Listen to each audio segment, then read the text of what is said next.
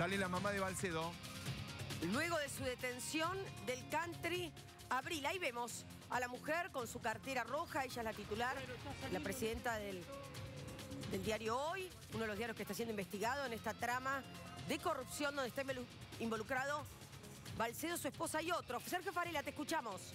Sí, Lorena, siete detenidos ya tiene la causa, entre ellos eh, Miriam Brené Chávez, y está siendo trasladada al juzgado de Ernesto Crepla justamente para prestar declaración indagatoria. El juez le va a leer varias pruebas, hay entre otros documentación de eh, la transferencia de fondos de las cuentas del sindicato, se está eh, recibiendo 64 millones de dólares entre el 2012 y el año 2015 y además el juez también cuenta con alguna declaración testimonial que la involucra a la madre de Balcedo y aparte de los detenidos. Por eso estos operativos, por eso estos nuevos detenidos en la asociación ilícita que tienen cabeza, claro está, a Marcelo Balcedo que sigue en Uruguay a la espera del pedido de extradición que hizo el juez Crepla que eh, viene justamente disputándolo con el Estado uruguayo que abrió una causa paralela en aquel país.